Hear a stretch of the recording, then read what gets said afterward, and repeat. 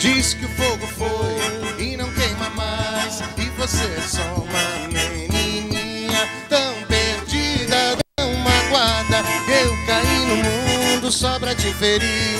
Tão perdida, tão magoada. Eu caí no mundo só pra te ferir. Diz que a hora é já, diz que me odiou. Diz que o vilão tem o meu nome.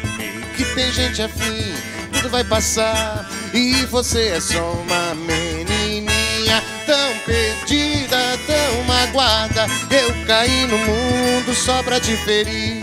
Tão perdida, tão magoada. Eu caí no mundo só pra te ferir. Mas nunca renuncie nossos gozos na varanda. Aquela rede, aquele cheiro de suor.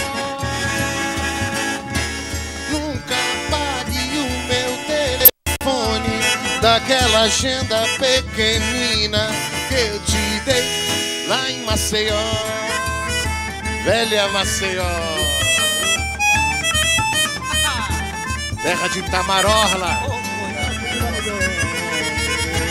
Terra de Janvieira.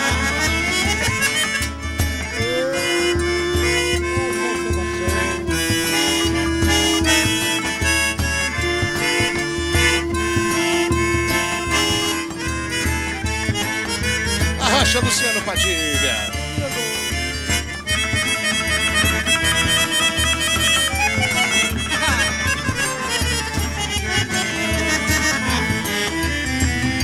Diga que doeu, que não volta mais, que não quer saber de mim. Diz que o fogo foi e não queima mais, e você é só uma tão perdida, tão magoada. que Eu caí no mundo só pra te ferir. Tão perdida, tão magoada. Eu caí no mundo só pra te ferir. Tão perdida, tão magoada, que eu caí no mundo só pra te ferir. Tão perdida, tão magoada. Eu caí no mundo só pra te ferir. Diz que a hora é já, o vilão tem o meu nome. Que tem gente afim, tudo vai passar. E você é só uma menininha tão perdida, tão magoada. Eu caí no mundo só pra te ferir. Tão perdida, tão magoada. Eu caí no mundo só pra te ferir. Mas nunca na varanda, aquela rede, aquele cheiro de suor. Nunca apague o meu telefone daquela agenda pequenina que eu te dei lá em Maceió, velha Maceió.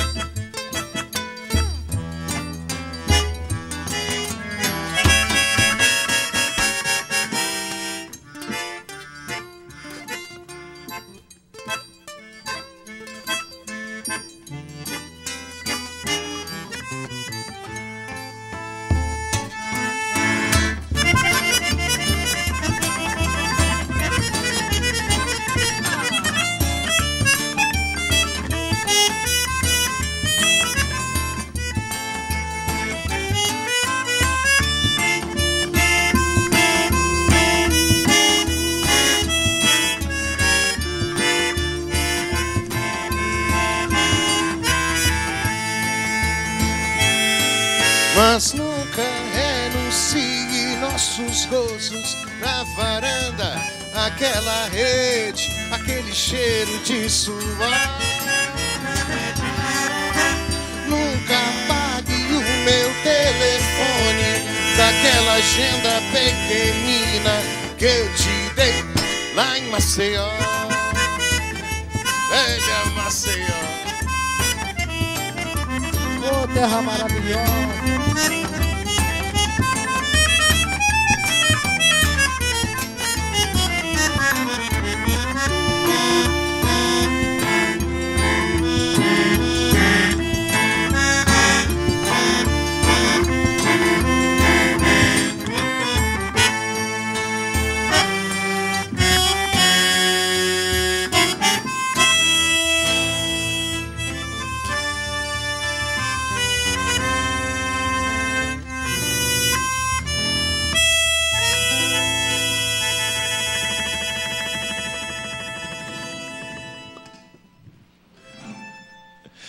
É isso aí, muito legal. Hoje é dia de forró com a banda Maria Bonita aqui no Radar. Daqui a pouquinho eu converso com os caras e eles voltam para fazer mais um som. Agora a gente segue com uma reportagem da Fernanda Fel. Vocês sabiam que apenas 1% da população brasileira doa sangue? E de acordo com a Organização Mundial de Saúde, se esse número aumentasse apenas para 3 ou 4%, não haveria mais problema de estoque de sangue. Para ajudar a mudar essa realidade, que o Radar tem uma dica para vocês. Confere aí.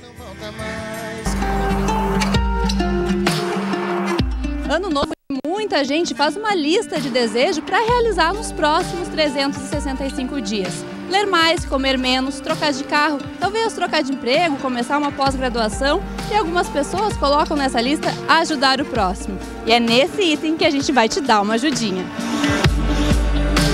Já pensou com apenas uma atitude ajudar até quatro pessoas? Isso é possível através da doação de sangue.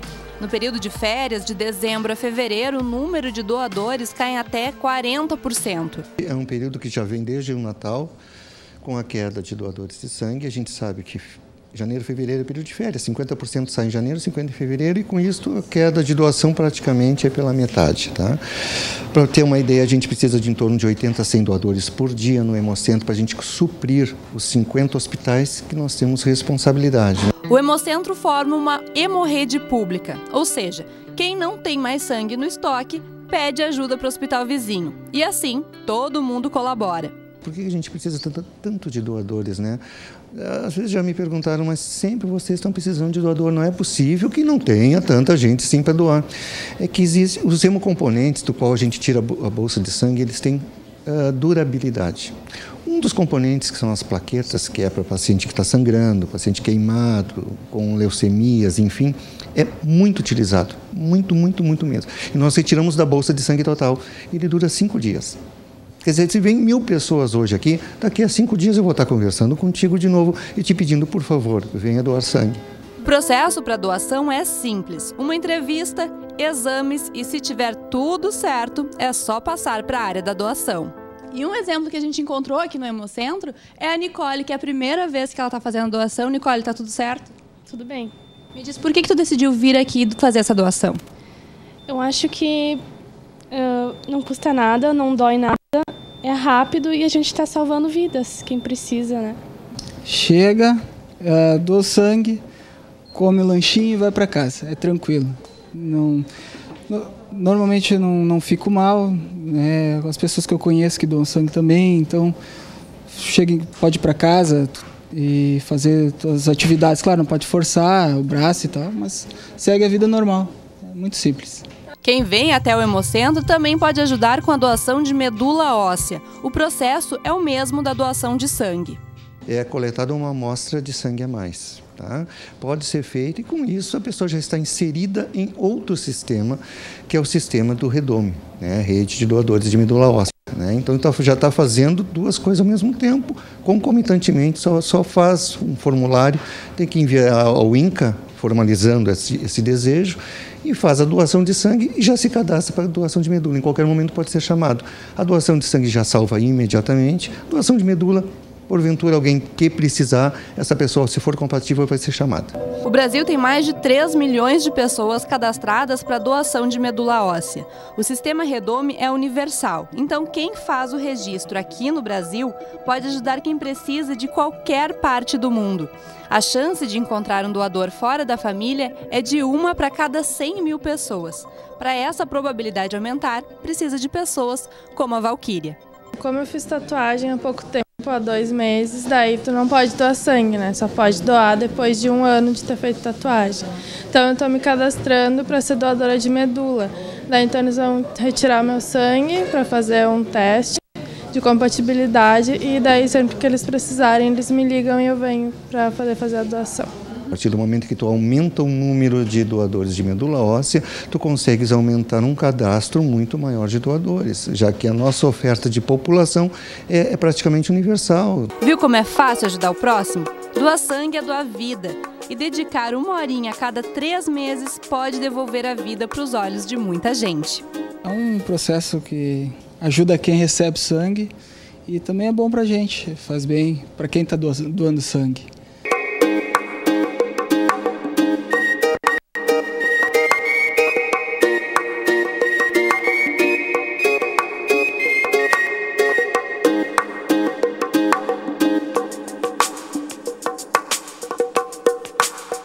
Isso aí, tá? Dica aí então, pessoal. Para doar tem que ter mais de 16 anos, levar um documento com foto e pesar 50 quilos ou mais. Qualquer dúvida é só entrar em contato pelo site ou pelo telefone do Hemocentro. Tu perde ali alguns minutinhos ou horas que seja, tu pode ajudar uma vida ou mesmo salvar realmente uma vida. No radar de hoje a gente está recebendo a banda Maria Bonita que está mandando ver um forró de primeira. Tudo bem, ela Jaque? Radar de longa data da Maria Bonita. Boa tarde a todos. Cara, o, a proposta é o forró, mas quando vocês tocam as músicas, nem todas as músicas foram compostas para ser um forró, né, Lojá? Que vocês trazem músicas de outros estilos, né? Sim, a gente procura colocar a roupagem do forró, certo. porque o forró ele não é um ritmo, né? Muitas uhum. pessoas pensam que forró é um ritmo.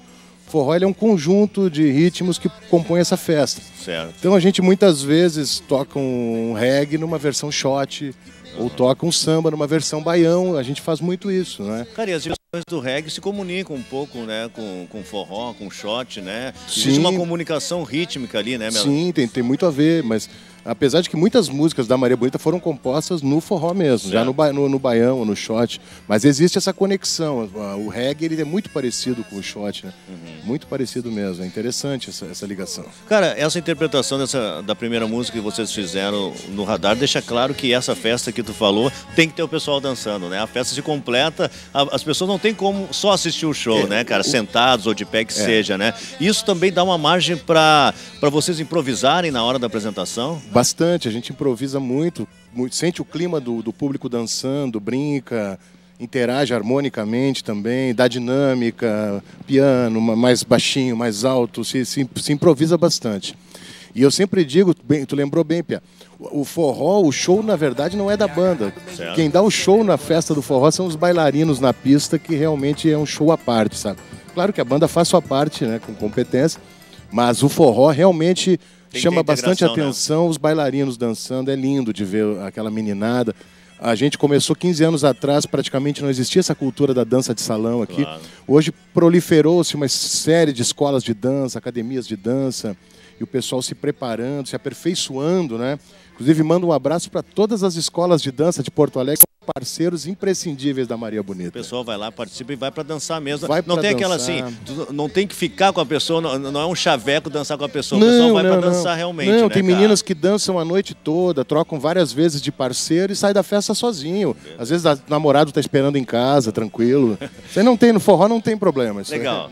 Cara, vamos curtir mais um som, depois claro. a gente volta batendo mais um papo sobre o trabalho musical Isso, da Maria Bonita. Legal. o que a gente ouve agora? A gente vai fazer agora uma, uma inovação da Maria Bonita a gente pegou um tango do Astor Piazzolla, que é um cara que revolucionou o tango, certo. e colocamos uma, uma roupagem de baião nele. Legal. Um arranjo do Luciano Padilha, nosso maestro, nosso arranjador, e fizemos essa, essa adaptação de Astor Piazzolla para o forró. Vamos de Maria Bonita ao vivo aqui no Radar.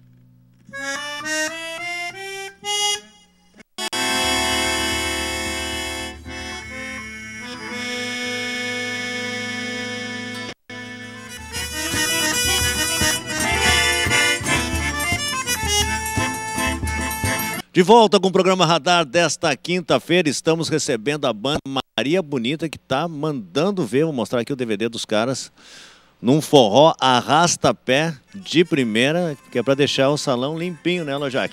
Não tem sujeira nesse salão aqui. Com certeza.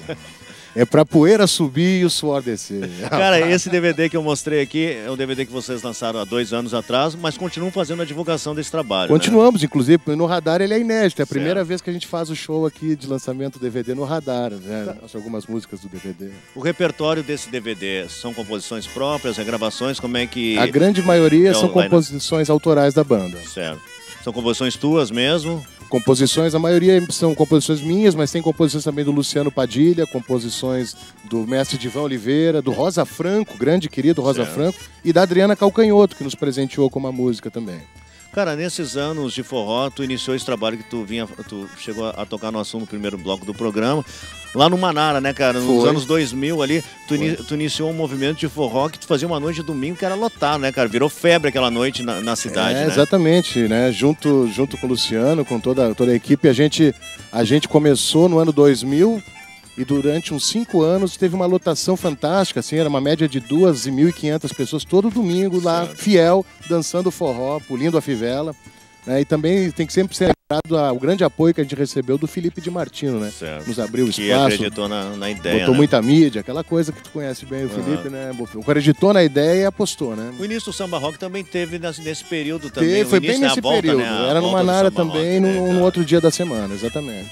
E elogiar que período de Maria Bonita e de forró, vários músicos aí já passaram, né, pela formação da tua banda, Muitos né, grandes artistas, né? Grandes, grandes. E, e como é que tu viu o forró aqui no Rio Grande do Sul? Porque até então não havia uma tradição, né? Mesmo a gente sendo brasileiro, tem um certo bairrismo, né? E que foi rompido com, com esse tipo de evento, né? Foi, foi, não foi fácil, né, Pia? No início a gente sofreu uma resistência, o pessoal custou aderir ao forró, Certo.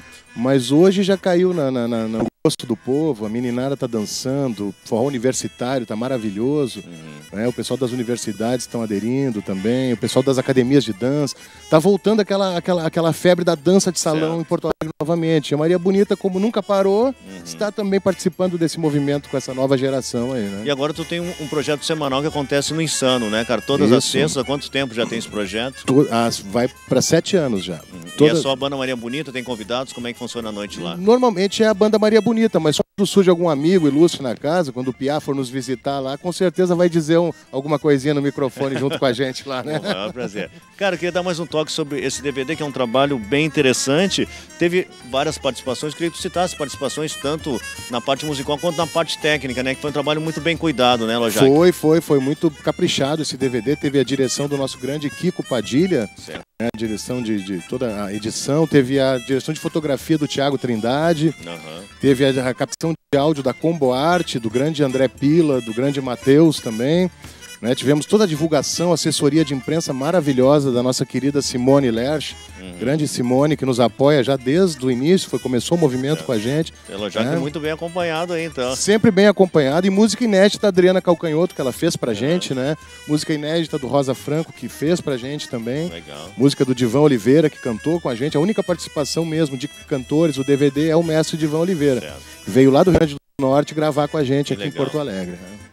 É, Cara, querido. quero agradecer a tua presença no Radar de hoje, cara. Boa sorte aí nos projetos aí, no semanal lá no Insano, no DVD. Aham. E vamos curtir mais uma música Vamos, finalizar a participação de vocês. Vamos sim. Posso só dar um toquezinho da agenda? Claro.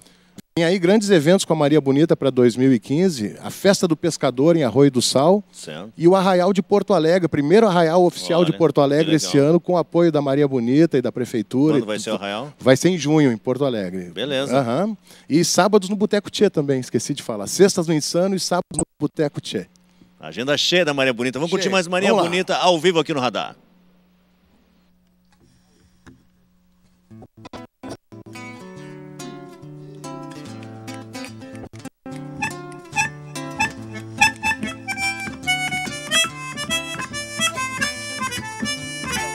Fica tão bem assim dançando, requebrando, viajando, iluminando, soltando faísca que nem o sol.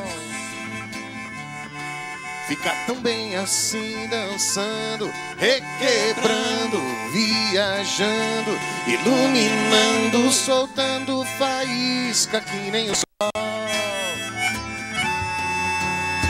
E essa menina tem cheiro, essa menina tem jeito, essa menina tem um beijo de arrepiar. Essa menina tem cheiro, essa menina tem um jeito, essa menina tem um beijo de arrepiar. Fica tão bem assim dançando, requebrando, viajando, soltando faísca que nem sol. Fica tão bem assim dançando, requebrando, viajando, iluminando, soltando faísca que nem sol. Arrocha pra ver, gente. Luciano Padilha.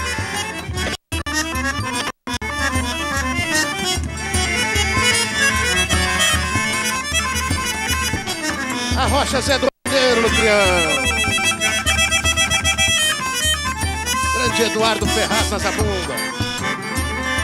É a Maria Bonita. Fica tão bem assim, dançando, requebrando, viajando, iluminando, soltando faísca que nem sol.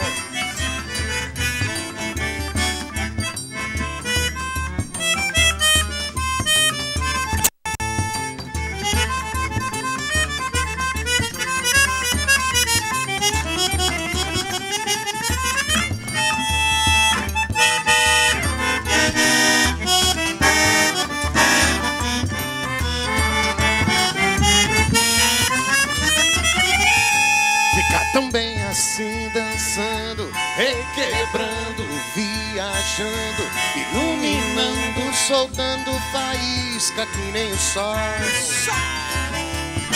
Fica tão bem assim dançando, requebrando, viajando, iluminando, soltando faíscas que nem o sol. Essa menina tem cheiro, essa menina tem um jeito, essa menina beijo de arrepiar. Essa menina tem cheiro, essa menina tem jeito, essa menina tem um beijo de arrepiar.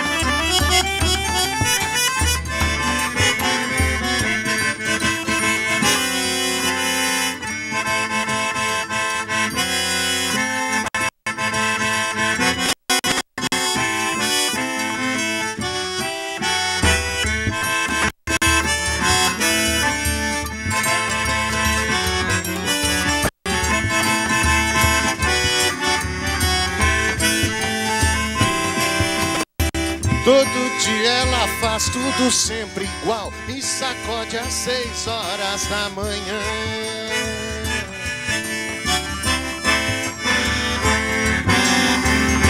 Todo dia ela diz que é pra eu me ligar. E essas coisas que diz toda mulher.